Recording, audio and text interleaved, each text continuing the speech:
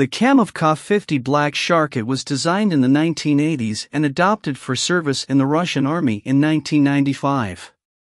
The Ka-50 is manufactured by the Progress Company in Arsenyev. It is used as a heavily armed scout helicopter and is notable for having a rescue ejection system, rare for helicopters. During the late 1990s, Kamov and Israel Aerospace Industries developed a tandem seat cockpit version, the Kamov Ka-50-2 Erdogan, to compete in Turkey's attack helicopter competition. Kamov also designed another two-seat variant, the Kamov Ka-52 Alligator, Russian, NATO reporting name, Hokum B.